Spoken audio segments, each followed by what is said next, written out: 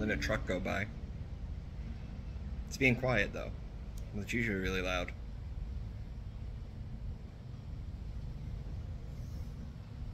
All right, what's up, everybody? Adam here, aka Dr. Taco 1982, and I'm coming to you today with another taco tries. Uh, today we're tasting the the long anticipated, oftenly mentioned, I'm leaving that in, I like it, uh, Chef Boyardee cheesy burger macaroni. It's pasta in a cheesy meat sauce. So there it is, beautiful thumbnail I made of it. Uh, in 1924, Chef Hector Boiardi restaurant was so popular he began bottling his signature sauce in jars for his customers to take home. Today, Chef Boyardee maintains its quality by using ingredients such as vine-ripened California tomatoes and wholesome pasta. So, the last thing of Chef Boyardee I had was the, I think it was cheese raviolis with meatballs, and it was actually surprisingly good. Um, I, I don't have as high as expectations for the cheeseburger macaroni, the cheesy burger macaroni, sorry. Um, but I'm going to go ahead and go heat this bad boy up and we're going to have a taste. All right, we gave it a little time to cool down. That's our finished product. Um, part of me thinks it looks a little light on the meat, but part of me also thinks that that's probably about as much meat as they're usually going to put in there. But uh, that's the that's the cheesy burger macaroni. Um, I'm not gonna lie, it doesn't look super appealing. Um, for some reason, it's reminding me of creamed corn, and I don't really know why. But it's not like I don't know. May, maybe it's gonna taste better than it looks because right now it's just it ain't firing on all eight cylinders uh, for me. But okay, here we go. First, our first try of the Chef Boyardee Cheesy Burger Macaroni.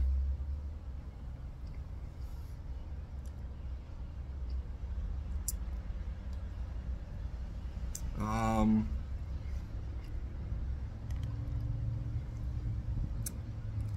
is it bland? Ooh, it bland. If there's supposed to be cheese, I'm I'm not getting any cheese. Uh, it's pasta it's super soggy pasta. Like, super soggy pasta.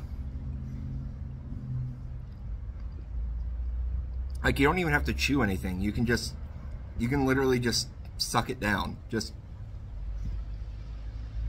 it, it's so soft. It, it just, like,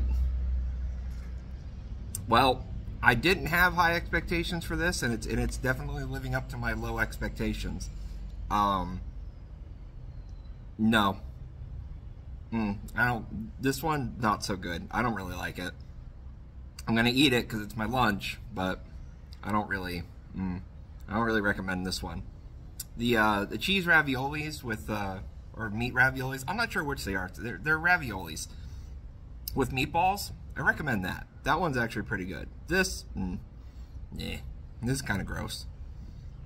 Not uh, I'll try some more Chef Boyardee stuff. I'll look for something, but this is, yeah, yeah, don't like it. But thank you guys for watching. Um, I don't know what I have for the future. I made a I made a quick short. It's on Instagram, right? Well, that was a while back now, but it's on Instagram. Uh, I'll probably try and re-upload it to YouTube at some point. It's probably already there. I don't know. Um, but I think I think for snacks and stuff like that, I might do shorts instead of like full-on reviews. Um, because it was fun. It was fun doing something a little bit different. Uh, but if you guys like what I'm doing here, make sure you like, comment, subscribe, the bell, all that stuff. That helps the channel and whatnot.